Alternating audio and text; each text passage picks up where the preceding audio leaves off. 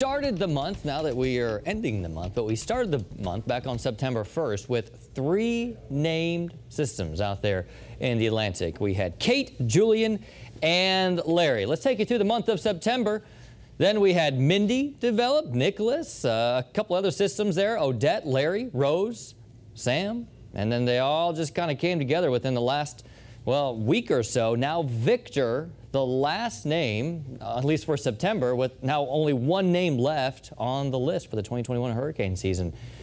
Look at all those storms that we've had this year. Teresa and Victor, both just tropical systems. Sam, a Category 4 hurricane. And we still have just those two systems out there. Sam and Victor, there's one other disturbance, Invest 91L, that now has only a 10% chance of development over the next few days. Let's take you down to Sam this morning. Still a very impressive Category 4 hurricane, isn't it?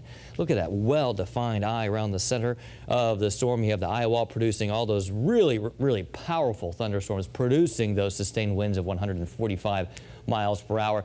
The storm turns to the north, likely maintaining its strength as a, a high-end Cat 4 hurricane.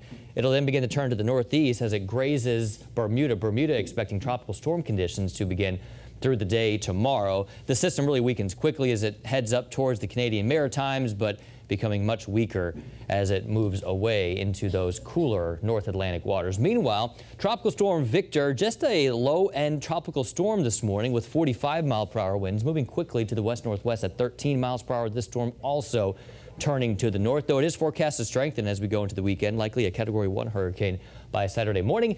It will then weaken as it tracks farther to the north throughout the week next week, and then it will then fizzle out over the central Atlantic as well. No concern from either one of those systems for us here in the United States.